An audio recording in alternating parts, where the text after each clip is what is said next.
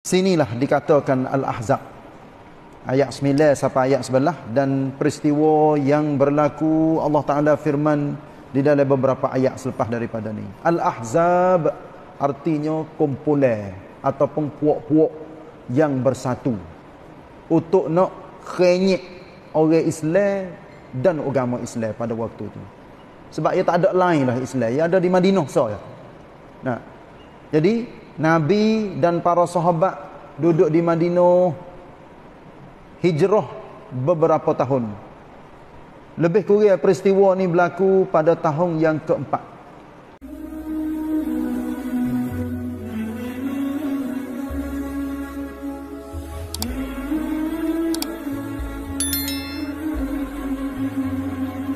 أعوذ بالله من الشيطان الرجيم يا أيها الذين آمنوا اذكروا نعمة الله عليكم. يا أيها الذين آمنوا اذكروا نعمة الله عليكم. إذ جاءتكم جنود فأرسلنا عليهم فأرسلنا عليهم ريحا وجنودا لم تروها. وكان الله بما تعملون بصيرا.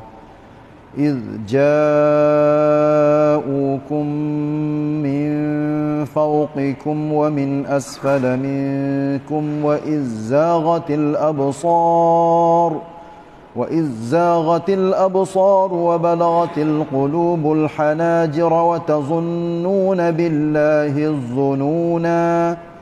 وتظنون بالله الظنون هنالك ابتلي المؤمنون وزلزلوا زلزالا شديدا Ayat 9 sampai sebelah suratul Ahzab. Sinilah dikatakan Al-Ahzab. Ayat 9 sampai ayat sebelah dan peristiwa yang berlaku Allah Taala firman di dalam beberapa ayat selepas daripada ni. Al-Ahzab artinya kumpulan ataupun puak-puak yang bersatu untuk nak khenyek orang Islam dan agama Islam pada waktu itu. Sebab ia tak ada lain lah Islam. Ia ada di Madinah saja. Nah. Jadi Nabi dan para sahabat duduk di Madinah hijrah beberapa tahun. Lebih kurang peristiwa ni berlaku pada tahun yang keempat mengikut setengah-setengah riwayat katanya berlaku pada tahun yang keempat hijrah. Uh, nanti dah saya pilih-pilih ni iaitunya orang-orang kafir uh, bersatu dengan semua kumpulan pok-pok dia diketuai oleh Abu Sufyan bin Sakhr yang sepakat dengan orang kafir Mekah dan Yahudi Bani An-Nadir yang Nabi Hamad keluar daripada Madinah pergi ke, ke Khaybar. Orang-orang yang uh, dihamad oleh Nabi itu termasuknya Salam bin Abi Al-Haqiq, Salam bin uh, Mashkak, Mashkam dan Kinanah bin Ar-Rabi'. Nah, puak-puak ni ni gi ke gi ke Mekah. Pakak bersatunya dogi kecek dengan puak-puak kafe Quraisy maka puak-puak kafe Quraisy pun setuju nampak idea dia ataupun buah pendapat yang puak-puak uh, Yahudi Bani An-Nadir ni nak setuju dengan puak-puak kafe Mekah yang diketuai oleh uh, Abu Sufyan bin Sakhr uh, Abu Sufyan Sahr bin Harb. Lepas tu banyak-banyak lagi dah peristiwa-peristiwa yang berlaku di zaman itu yang puak-puak dia bersetuju dengan semua pihak. Orang kafe ni lebih kurang dalam 10 ribu orang. Cuba kita gambar eh, 10 ribu orang ni bukan sikit. Menuju ke Madinah. Orang-orang hak seteru dengan Nabi, hak duduk di Madinah tu, Hak tu hak seteru dah, seteru dalam kain selimut dia panggil. Iaitunya puak-puak munafik. Nabi apabila tahu ha ni Nabi mesyuarat. Mesyuarat Orang tu royak lagu tu Orang ni royak lagu ni. Orang Islam pada waktu tu Mengikut satu riwayatnya 3,000 orang. Mengikut satu riwayat lain katanya Lebih kurang dalam 7,000 orang Kutik, kutik, kutik, kutik, kutik Lebih kurang tu lah Tapi ramah balik orang-orang kafir Lalu tu lah dia dalam mesyuarat saat ni seorang orang muda namanya Salman Al-Farisi. Salman Al-Farisi yang dia mari daripada kawasan Khurasan ataupun kawasan Iran sekarang ni lah. Jalan jalan jalan jalan siapa di Madinah. Alhamdulillah. Sejarah Salman ni sejarah panjang. Tapi apabila dia duduk di dalam mesyuarat sekali dengan Nabi, dia royak. Show kepada Nabi. Nabi, tak pada dengan kita orang lemah senjata tak ada. Ginilah. Kita gali tanah Madinah keliling-keliling. Lepas tu ya ada cong untuk tubik masuk so. Maknanya kawasan hak ada umuh ada tempat-tempat yang orang duduk kita gali lokal ataupun gali parit itulah dalam bahasa Arab dipanggil al-khandaq. Ha. iaitunya gali parit jadi Nabi terima buah pendapat Salman. Tahu katanya orang kafir mari nak serai. Itulah Nabi keruh. Sahabat dia serta dengan Nabi sendiri pun buat. Gali tu lama mana? Sebulan. insyaAllah cuba, cuba kita gambar katanya guna cok. Apa siku ke gapo gali gali gali siapa ada gapo pakat gali belakang ni nak ayat katanya setuju bersatunya orang-orang Islam pada waktu tu untuk nak jaga Islam dan nyawa tanah air. Sebab tahu katanya pok-pok kafe ni mari nak serai. Ha ni cerita ni panjang dah kalau dia tengok di dalam tafsir pun panjang hubungnya dengan dua tiga ayat ni. Saya royak benda yang penting-penting lepas tu mari kita tengok ayat yang dibacakan saat ni. Ayat 9 ni wahai orang-orang yang beriman kenangkanlah nikmat Allah yang dilimpahkannya kepada kamu. Maknanya hei orang-orang beriman, mu ingat atik nikmat yang Allah Taala bagi kepada kamu pada masa kamu didatangi oleh tentera Al-Ahzab. Tentera Al-Ahzab iaitu tentera bersatu dia panggil. Nah, nota kaki 1440. Mulai ayat ini Allah Ta'ala mengingatkan orang-orang yang beriman supaya bersyukur akan nikmatnya kepada mereka dengan menyelamatkan mereka dari serengi tentera Al-Ahzab yang telah datang mengepung bandar Madinah dengan tujuan hendak menghancurkan Islam dan umat Islam. Al-Ahzab ialah pasukan-pasukan tentera yang bergabung. Bergabung ni maknanya ruang pening dia. Ada kira kena tak kena. Rapat tak rapat pakat satu belakang. Itulah. Nah yang kita selalu baca di dalam takbir hari raya. Wa nasara abdah wa a'azza jundahu wa hazamal ahzab wahdah. Ha tu jalan dah tu Allah menolongkan hamba-Nya. Siapa hamba dia? Iaitu Nabi Muhammad. Wa a'azza jundahu dan meninggi memuliakan tentera tentera Allah. Iaitu orang-orang Islam. Wa hazamal ahzab wahdah. Dan Allah Taala peracur semua. Bala apa ni? Uh, peracur. Pasuk ke klum-klum hak pasal bersatu untuk nak khainat Islam. Nah bila kita baca hak ni baca ayat peristiwa dan duk takbir pada hari raya tu cuba kita gambar katanya kita duk cecu Allah Subhanahu Wa Taala dan duk mintanya supaya orang kafir hak menetek Islam dan bersatu puak-puak dia di atas muka dunia walaupun kecek berlainan bahasa duduk rata-rata negara negeri tepat tapi orang kafir hak akatik ingat molek dah saya royak ni orang kafir hak akatik dengan Islam tu Hak itulah yang kita minta supaya pen hak dia duk buat makan kepala dia sendiri. Naik atas kepala dia sendiri.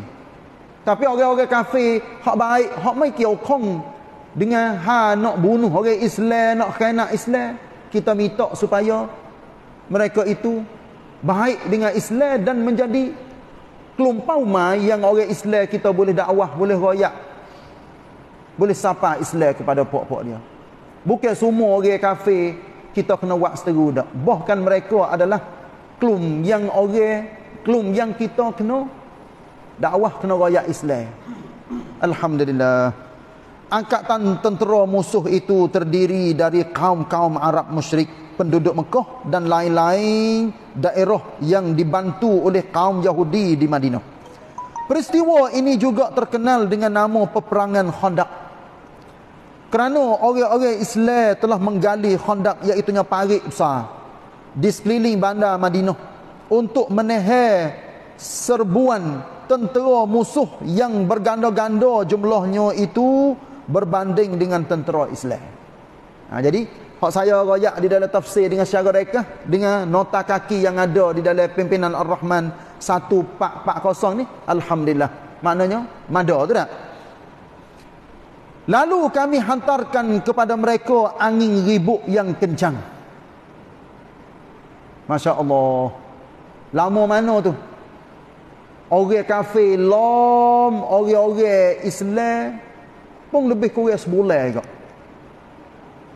Pas cuba kita gambar, Nabi kena wang pen lagu mana? Ha makan ni. Cakap anak kena ada. Kena kartun.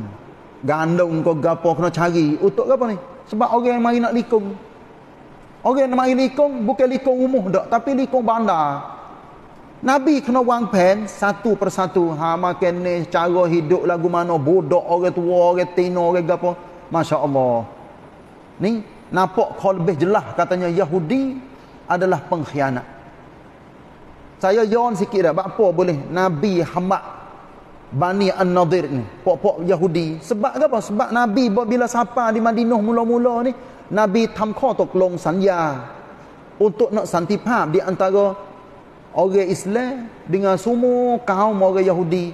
Yang duduk di Madinah pada waktu tu. Mari duduk depan belakang. Kalau kecek mudah-mudah, mari duduk semeja pakat sign nama belakang. Huana, huana belakang pakat sign nama. Tapi orang hok mula-mula soyok suntik sanja. Bukan arti soyok sungguh. Maknanya tak jalan mengikut hak janji. Iaitu pok-pok Bani An-Nadir ni. Pok Yahudi. Mula-mula Nabi tuan dulu. Jangan menyalahi janji. Tapi lama-lama nampak tak jadi weh. Nampak kau kerah, kau lawe, kau tak dengar. Ha-ha cara hidup di Madinah mula panpuan. Mula pasal duduk tak amil, tak selamat.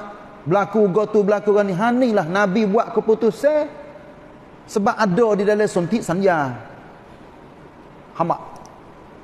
Hamak tu baik selalu dah. Masya Allah. Hani berlaku pada zaman itu tu bukan mengikut perasaan nafsu Nabi dan orang Islam semata-mata nak hambak dah. Tapi dengan sebab janji siap dah. Bila janji siap dah, orang Yahudi pun ya kena terima. Kena terima katanya dia duk khenat suntik sanja saat ni. Inilah dalam ahli dalam sejarah ayat katanya puak-puak Bani An-Nadir inilah Gi duduk helai kata katanya Nabi khanak puak dia, Nabi hambak puak dia. Gi duduk kecek kata terutamanya ya gi ke mana-mana tempat nak jadi orang ni kau tambah becinya kepada Nabi dan sahabat. Inilah peristiwa-peristiwa yang berlaku pada zaman dulu yang Allah Taala kekalkan di dalam Quran hubungi dengan orang hok mai hindui dengan sontik sanja walaupun tekah duk depan sama depan nampak muka manis. Tapi bolap lang sikit ya. Mula kecek kata mula ngupak mula kata mula cicir mula gatu gani dan sebagainya sehingga berlakunya bukan perang dak tapi peristiwa al-khandaq.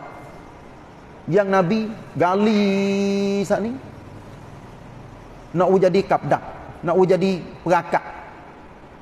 Peristiwanya berlaku orang kafir apabila pok-pok dia dalam 10 ribu orang tu mari nak likung kan ya dia tak tahu katanya situ ada parit Nabi kamu, kamu bukan bukan kamu dengan tanah, tapi tok sebagai apa?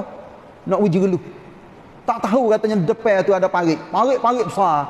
Kalau orang jatuh, tak boleh naik. Ha gitu. Pas ramai orang jatuh dalam tu. Sebab apa? Sebab Nabi ambil sahabat dia mari letak neuna. Puak-puak Ahzab tu mari tengok pak, ya rasa nak nak serai eh? Tak tahu katanya depan tu ada parit. Jereluh masuk beru beru beru beru beru beru beru dalam tu. Hak mana dia bunuh bunuh. Ha ni, nak ayat katanya peristiwa yang berlaku pada zaman itu gitulah keadaan dia.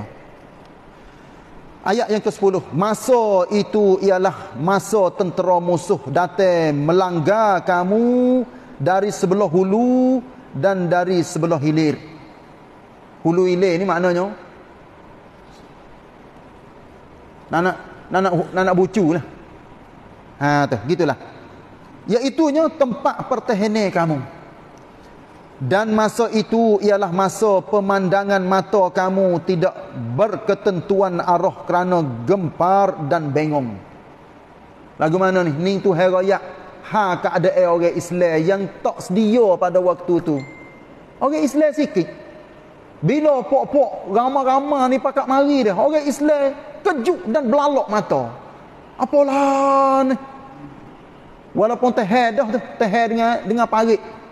Tapi apabila tengok yang begitu ramai, kalau pergi badar, pergi dengan kelum puak kafe Quraisy ya. Pergi Uhud sikit ya. Nak ayat katanya tak tak tak tak serupa ramai begitu mo. Tapi bo mari Al-Ahzab ni, inilah yang Allah Taala katanya wa izzaghatil absar. Mata pada waktu tu masya-Allah. Maining. Pakak tengok Eh, gapo ni? Gapo ni? Gapo ni? Ha pakat gitulah. Wa balaghatil qulubul hanajir. Hati ni getar. Takut. Masya-Allah. Wa tazunnuna billahi zununa. Ha, tengok. Tu ayat lagi. Serta hati pun resah gelisah. Kerana apa? Cemas, takut. Gerung yang sangat besar pada waktu tu orang-orang Islam dan masing-masing kamu pula menyangka terhadap Allah dengan berbagai-bagai sengkaan. Eh, Islam nak sinsut pada hari ni kau. Tu tengok. Setengah-setengah orang Islam mikir siapa lagu tu. Sebab apa? Ramah doa orang-orang kafir mari nak kayi, nak kerenyik orang-orang Islam. Tapi tak, Nabi beri semangat. Nabi dan para sahabat hok geligo-geligo pada waktu tu. Payam pelop cai orang-orang Islam jangan gerung. Allah Taala nunlang kita. Allah Taala akan tolong kita. Cuba kita tengok dah nota kaki 1441 dari ayat ini hingga ayat 24 tengok. Ni kita duduk dalam dalam ayat yang ke-10 sebab tu selepas pada ni peristiwa yang berlaku sampai ayat 24 Allah Taala menyatakan tentang penderi penderita eh penderita eh yang telah dihadapi oleh Rasulullah sallallahu alaihi wasallam dan sahabat-sahabatnya dalam peperangan Al-Ahzab dan tentang berbagai-bagai pengkhianatan yang dilakukan oleh orang-orang munafik terhadap Islam dan juga tentang pendirian teguh orang-orang Islam dalam peperangan itu. Alhamdulillah. Allah Taala pun royak. Ayat yang ke-11 ni sebagai akhir hunalika Ha ni itu dah saya undur ya. Tengok ujung ayat yang ke-10. Kalau dia kita berhenti baca situ kita kena baca nun baris dua. Wa tazunnuna billahi zununa. Atas halih itu ada apa? Alamat supaya dengan kosong kecil. Kalau dia kita berhenti baca situ kena baca panjang nun. Wa tazunnuna billahi zununa. Tapi kalau dia kita hubung selalu ayat yang ke-10 dan ayat yang ke-11 nung hak panjang saat ni jadi nung panok. Wa tazunnuna billahi zununa hunalika btuliyal mu'minun. Tu cara baca. Dalam suratul Ahzab ni ada beberapa ayat. Nanti kita ketemu sikit lagi di akhir-akhir di hujung-hujung surah ada hubungnya dengan baca eh iaitu nya rasulah perkataan ar-rasul. Nanti dah tak apalah, lah ni kita tak ada kena sebut lagi. Ayat yang ke-11 pada saat itulah diuji orang-orang yang beriman. Cuba kita gambar tu hai royak pandok eh. Diuji ni dengan segala-gala, makan kurang, minum kurang, tidur pun kurang. Tapi dalam masa yang sama, ai ibadat tak ada kurang. Bahkan para sahabat kau lebih kuat hubungi dia dengan Allah Taala. Berdoa, minta sokmo dengan Allah, zikir kepada Allah Taala sama-sama. Ha, ini adalah ajaran Nabi. Walaupun zahir nampak katanya diuji. Tapi hati orang Islam dengan Allah Ta'ala lebih kuat. Itulah yang Allah Ta'ala katanya. Dan digoncangkan perasaan dan pendiriannya dengan goncangan yang amat dahsyat. Goncang-goncang ni maknanya gonye. Tuhan kocok hati Nabi dan sahabat ni. So kocok-kocoknya. Kalau kita gambar jadi benar. Kocok sungguh. Nak tahu katanya siapa sahabat, siapa roh dan siapa nak duduk lagi dalam Islam. Masya Allah. Orang Islam semua yang ditarbiah, dididik oleh Nabi, semua micut yunti keng-keng. Situlah boleh tahu siapa munafik. Siapa munafik? Siapa yang tak lawegu? Cuba kita gambar apa tu? Di Madinah, adanya budak, ada orang tino, ada orang tua. Bukan semua orang kerja saat ni orang muda belakang. Ada belakang laklai orang-orang Islam di zaman Madinah pada waktu tu. Tapi Allah Taala waktu turun ayat-ayat ni adalah untuk nak jadi bodrian kepada kita semua. Kita orang Islam kena bersatu dan jangan jadi munafik. Tuhan nak ah. Kena bersatu, jangan baloh, jangan perokbang, jangan retok, jangan jangan jangan punuh. Kita kena bersatu orang Islam. Jangan hanya royak kita bersatu tapi hakikat sebenar kita hancur, kita pecah, kita baloh. Inilah kita ambil peristiwa daripada beberapa ayat yang dibaca dan insya-Allah kita sambung semula ayat selepas daripada ni hubungi dengan Al-Ahzab saat ni sehingga orang-orang Islam pun jadi berasa tarik hati. Berasa nak nak nak tubik. Maknanya pada eh? Tawak dah habis. Habis gai dah. Kita kena uji go tu uji go ni banyak perkara pakai jang halah lah. Ni ada setengah-setengah orang siapa ke nak waktu big idea dia. Katanya macam tu. Tapi alhamdulillah Allah taala tegakkan hati para sahabat sehingga mereka adalah orang yang bersatu pada zaman Nabi sallallahu alaihi wasallam. Sekadar tu eh. Wallahu a'lam sallallahu ala nabina Muhammad wa ala alihi wa sahbihi wasallam. Wassalamualaikum warahmatullahi wabarakatuh.